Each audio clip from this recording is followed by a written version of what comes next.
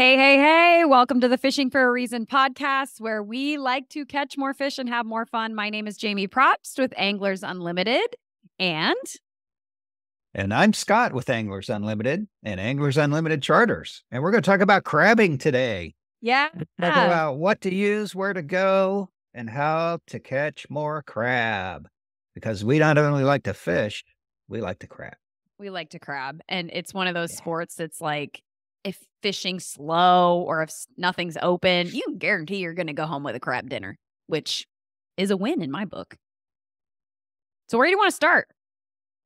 Well, why don't you tell us about crab gear, Jamie, what you use and what your setup is? Okay. So, what we typically use is just one of those standard crab pots that you can buy at any local sporting goods store. And just for context, there's like crab packages that a lot of guys sell that are really inexpensive. So, if you're brand freaking new and you're like, I don't, I don't know if I want to spend a whole bunch of money on a really nice crab pot, then go get the cheap stuff. Like start with one of those square traps, make sure everything is nice and secure before you send it down. But I would just say with crabbing, it's one of those things just get going. So if you are on a budget, get one of those little packages. The one thing that, depending on the store that you go to, I highly, highly, highly, highly recommend you get leaded line. Get leaded line. Don't use that yellow floating stuff and weight it down. It's just, it can get caught in other people's propellers. It's it's a pain and it's just it floats. We really that leaded line is going to guarantee that your line is going to be nice and down in the water. Um, it's going to make sure that the pot stays secure on the bottom because it's heavier. It's just the best way to go. You want to use a red and white float. That's what you legally need to use on your crab pot. And it's always a good idea to use about 100 foot of that leaded line on your crab pot. So we have a minimum of 100 on ours. Not going to lie, we have had times where you had shorter line length, but really knowing your line length is super important. So you don't set the pot with less line in shallower water. So that's a big tip as well. We always have one of those crab gauge on it's pink and it just gives you a quick reference to measure the crab to know if it's a legal size, a keeper or not. And then bait. We actually just went out the other day. You want to tell tell them about our little experiment and what the result is of bait choice? So, you know, I've used pork, chicken, salmon, or probably the three main things that we use. Whatever I can find cheapest. And if I got salmon carcasses from fishing, we use those. So we had some salmon carcasses this year. We did two pots. We got salmon and we got chicken. And we put them in two different spots. I think the salmon maybe did a little better the first day, but it was at a different spot. So we moved them both together, salmon, chicken next to each other. The results were inconclusive. Both caught the same amount of crab. So some kind of meat to get the crab into the pot is a good start. And then, you know, one thing that I, I think is important that people forget about is weighting your pot down. You have to weight your pot down and you have to place it in a spot that it is not going to get run over or swept away by currents. So Jamie's going to let me share my screen by, and I'm going to show you. I'm going to show you my screen here. And so, And for you those of you that are actually listening on the podcast, we'll make sure to link in the show notes the YouTube version of this so you can see what Scott is showing and he'll describe it for you as well. So I'll show you. Here we are. We live close to Burrows Bay here. You can see Burrows Bay. And there's a nice, muddy, shallow spot that's kind of on the eastern side of the bay. A lot of guys crab in this whole area on the east side. The current does come through here pretty good. You can see even today, it gets up to 0.8. And then coming north, it's two, gets up to two knots. So your pot will get drug away in this bay, even though it's in a bay. The other thing is, I'll show you over here. This looks like a great spot to crab. It's kind of a little enclosed area here. But if you put your pot right here, guess what's right here? The Washington State Ferry runs about four ferries every two hours in and out of here. So that's a bad spot. And it's all about not losing your pot because a derelict pot in Puget Sound can kill up to like 5,000 crabs a year. So imagine how many pots get lost and how many crabs are getting killed because they get stuck in these pots and they can't get out before the, you know, each pot's supposed to have an escape ring with rot cord attached to it. So it eventually will rot and the crabs can get out, but it takes a while for that to happen. So you want to put your pots in a spot It's out of a traffic lane. It's weighted down appropriately. You got everything tied on appropriately. And uh, we started using these C links. I wish I had one to show you, but it's this little clip that clips your float system onto the line. And then you can attach your line to the pot with these clips that will not come undone.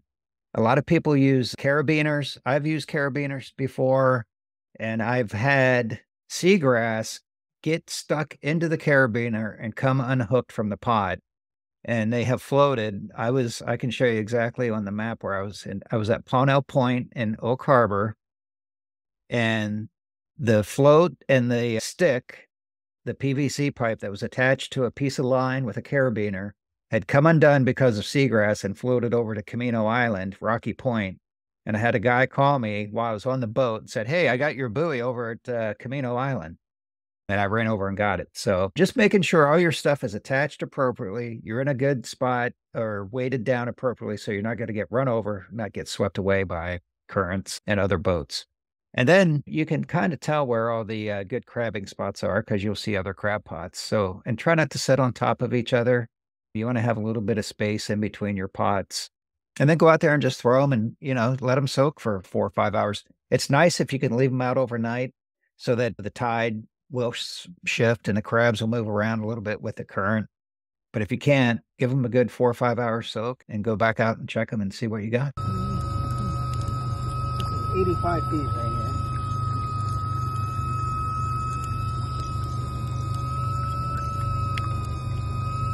Well, that looks like a good happy crab pot. Wow. Sure.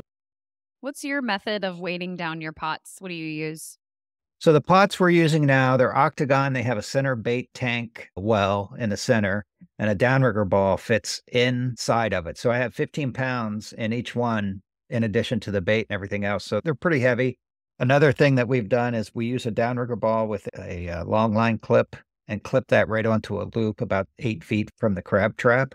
And that's a good, pretty secure way to weight them down as well. A lot of guys, you can use like window weights I used to use like a weight set, just grab a couple of 10 pounders out of a weight set, put those in there, zip tie them in. There's all kinds of different ways you can weight them down, but it's important to have some weight in your crab pot. Absolutely. And since you have the chart up right now, do you mind showing and explaining to listeners and those that are watching this YouTube channel right now some good spots if they are going out for the very first time. They're like, I have no idea where to go. so, depending on where you are, if you're in Oak Harbor, you're in probably one of the best crabbing spots in Puget Sound. And this is Polnell Point. Here's Oak Harbor on the left hand side of the screen. This is Crescent Harbor. And this whole area in Crescent Harbor is good crabbing from the center all the way over to the eastern side to Polnell Point. If I zoom in, you can see Polnell Point and you can crab all around Polnell Point, both sides. See, it's muddy. There's a little deeper area here that's about 80 feet. That's a good area. And if you've been here a while, it used to be the ice, they called it the ice house because there used to be a little ice house here on the Whidbey Island uh, Air Station side. But so that's a really good spot. As you go north, you'll see people over here in Skagit Bay, just north of the Swinomish Channel. This is all good crabbing through here the current rips through here. So you'll see guys see the shallow area just north of Polnell Point. Really good crabbing all through here, but you got to be careful with the traffic and the current. You come out to West Beach, the west side of Whidbey Island Naval Air Station, and just north of that, we'll crab from anywhere from eh, you see where it says North Gate Terrace here, right here, all the way north to the Deception Pass State Park is a really good area. We talked about, let's see here, I get stuff popping up. We talked about Burrows Bay.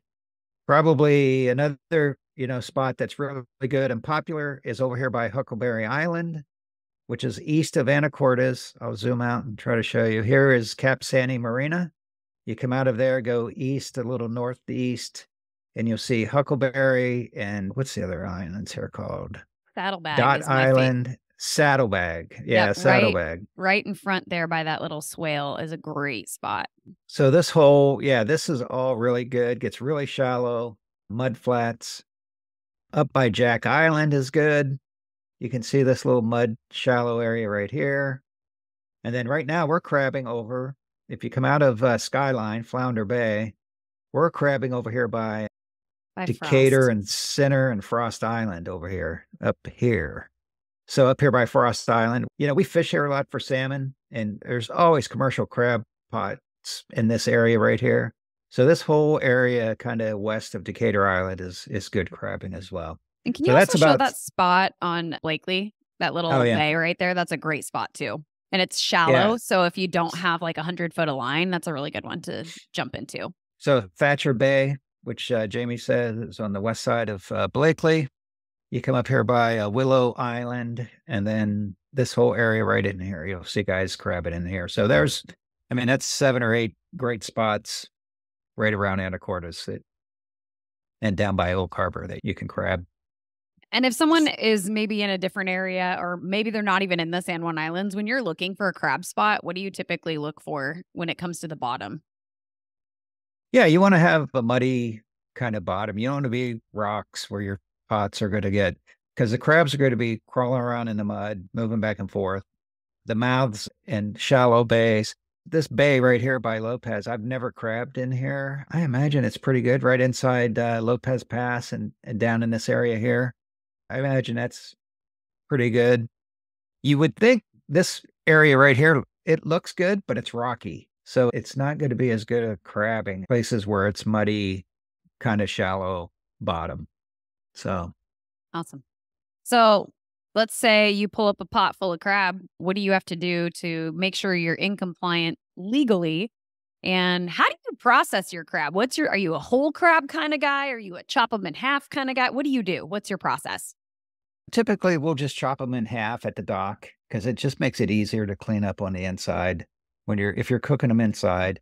If we're, you know, want to cook them on the dock in a big pot on a turkey fryer, just leave them whole, cook them whole, and then clean them that way. That's really good too. And doing them in salt water is a fun way to do it. I've chopped them in half with a big knife, an axe, do it on the side of a bucket, pop them off on a cleat, and then you just kind of break them in half and clean out the lungs and all the organ meat that's inside. I like having them in half. It's just cleaner for me.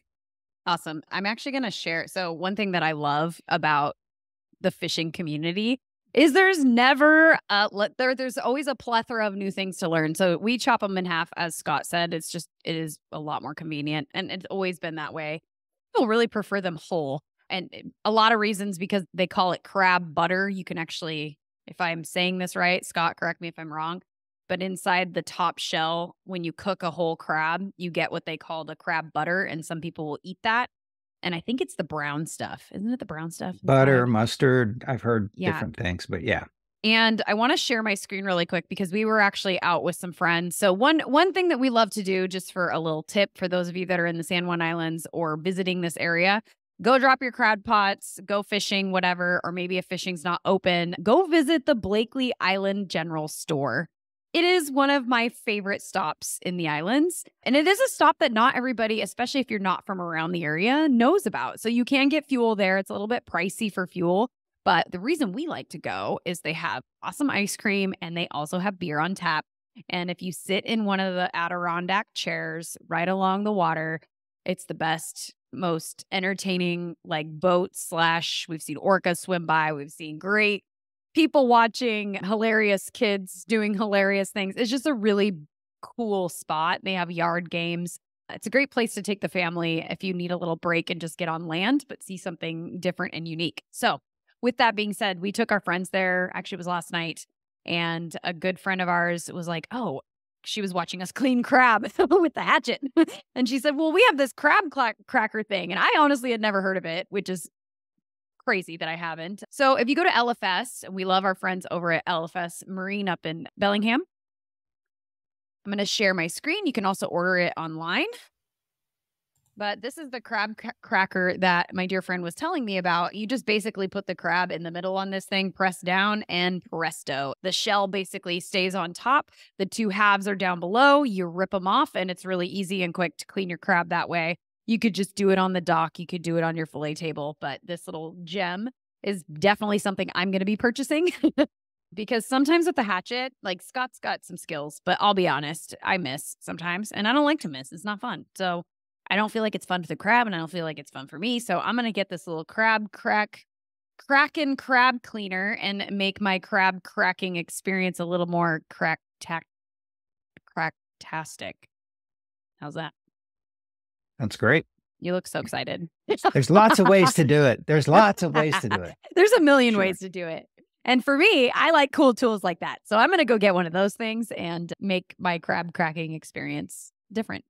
Yeah. Any other hot tips for crabbing? Like, how do you like to cook them? What's your favorite way to cook them? What's your most unique way to cook them?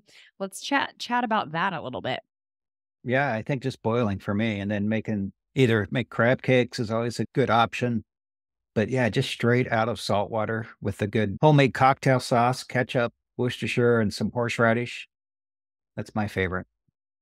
Favorite way. My go to is salt water. And if you are going to cook them in salt water, don't use the marina water.